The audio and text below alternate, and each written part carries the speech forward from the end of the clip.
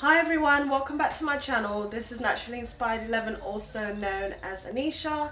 So today um, you'll be watching a video where I attempted to do an oatmeal mask. I found this on the web on a website which I'll link below and it just had different vegan friendly homemade deep conditioners so I thought I'd try it out but as you'll see in the video it was a fail so without further ado let's get straight into the video.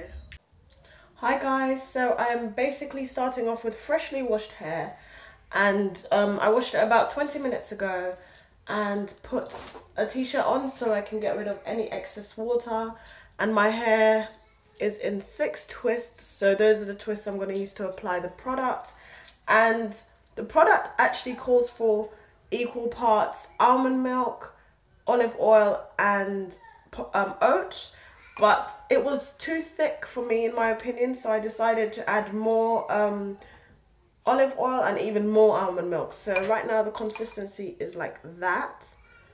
And I'm less nervous about using it because I don't want any bits to get stuck in my hair.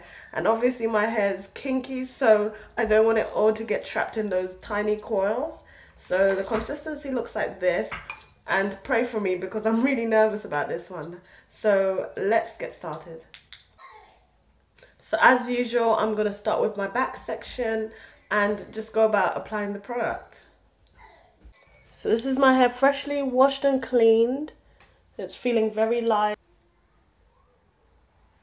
And guys, I'm sorry about the lighting. Today's um, a very dull day. So I'll take what I can get.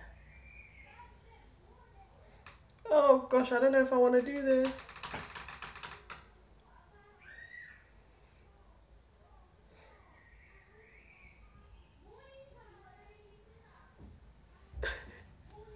Right.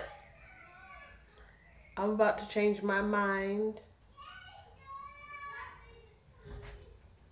Guys, I'm about to change my mind with this one because, look. Look at it already.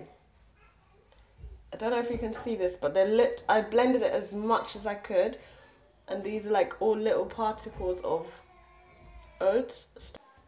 So guys, I definitely decided against that. I was so nervous to begin with.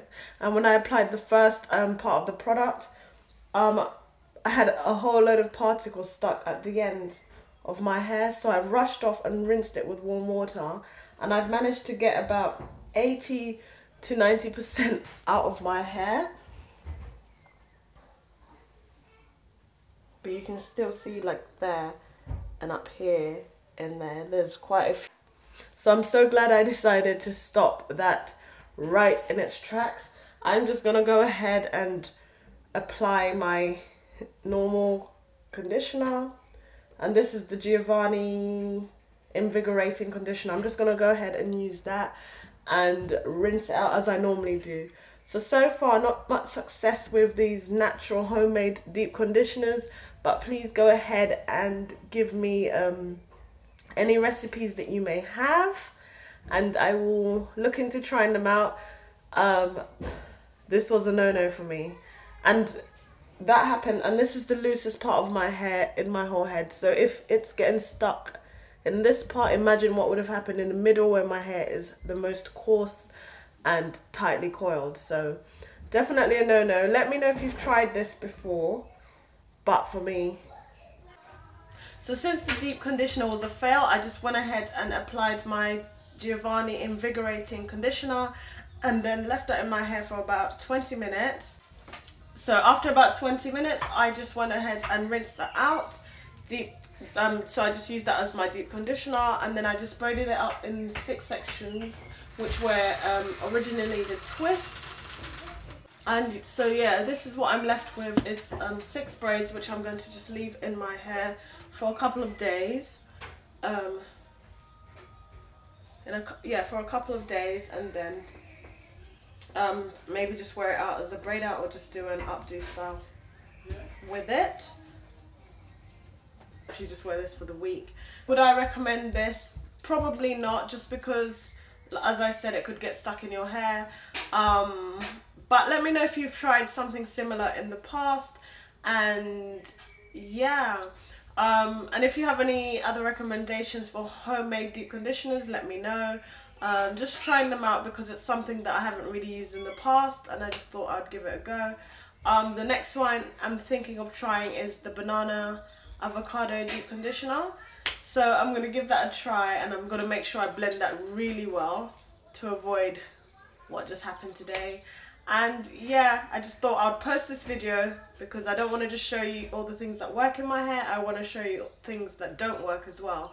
Down below if you've tried this deep conditioner before. Basically just trying to cover all the suggestions that I get in the comments below. Hence the videos that I'm, you know, recording. So any suggestions, let me know and I'll try and get them done for you. Um, in the meantime, hope you have a lovely day, morning, afternoon, where, whatever time it is, wherever you are. And I'll see you again in my next video. Don't forget to rate, comment and subscribe. Bye.